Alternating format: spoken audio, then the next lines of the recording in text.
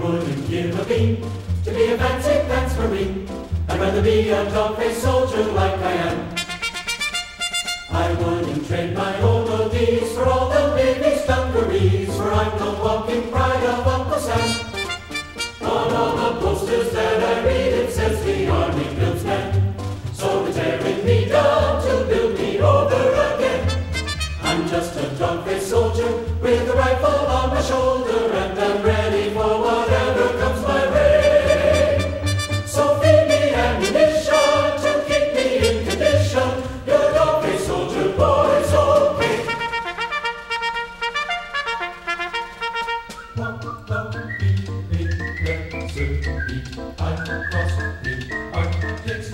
I'm across the Arctic's frozen waste at ten